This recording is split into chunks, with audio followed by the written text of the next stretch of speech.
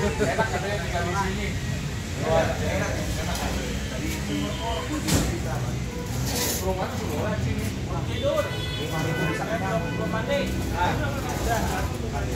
himbau teman-teman pindah ke Rangkas Bitung 5000 masih bisa makan enak nasi uduk pakai telur dadar Hasan udah mau investasi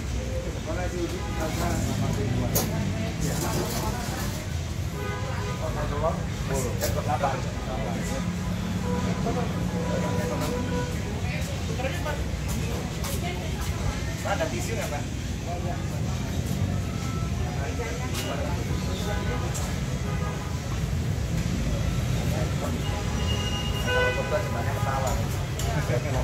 Kok kakak ada ya?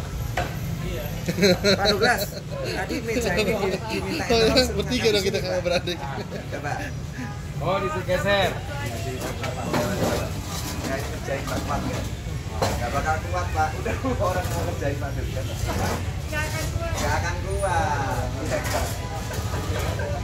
Gak bakal ada tuh, Pak. Seriusin, Pak.